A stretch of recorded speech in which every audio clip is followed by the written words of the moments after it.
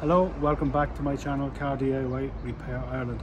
And today I'm just doing a quick video on dipstick, dipping the oil and the correct markings where it should be. That's minimum and that's the maximum there. And you can see it's on both sides you have both dimples dimples in this and uh, impressed on this side. But anyway um, a lot of times when you're dipping your oil you will find that um, you know this side will show that it's bang on uh, maximum or just a little bit on the, you know, somewhere south of this line. And on the other side you will find that there might be a load of oil coming up uh, up here where it looks like it's absolutely full of oil.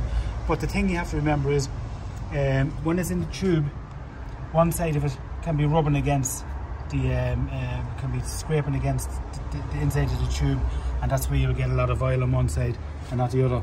Sometimes you get on both sides but so when I pull that out like that there you can see it there now. Uh, that's just a little on the full.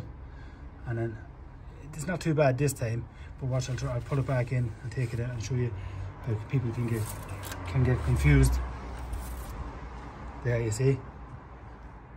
It looks as if it's way over full. But as you can see here, it done it, it done it as well here a little bit too, but you can see roughly what oil is, you can work it out. But with this here, you wouldn't, you'd be thinking that you had too much oil in your engine and panic bells alert, but not to be. And the reason for that is, there you go again.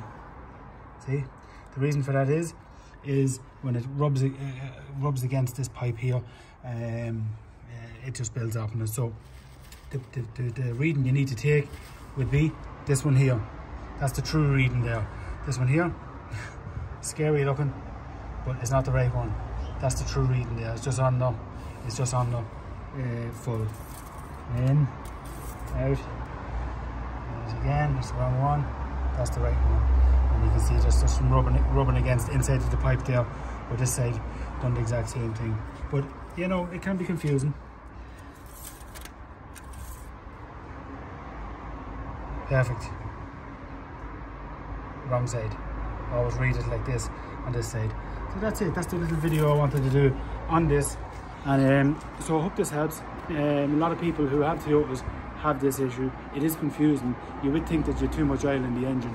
There's clearly not because how I know there's not in this case is when I serviced the car the last time, I done a, a full service, took out the filter and everything else, filled the filter and then topped it up with oil and it was absolutely spot on the top. And this is after done it's done 10,000 kilometers and there's a little bit below maximum. I haven't topped it up, so it couldn't be over full. So that's the reason how I know this. So if you're wondering how uh, one side is way too much looking and the other side is not, that's what it is. Hope this video was helpful. Please hit the subscribe button, give it a thumbs up, share, leave a comment. Have a good day.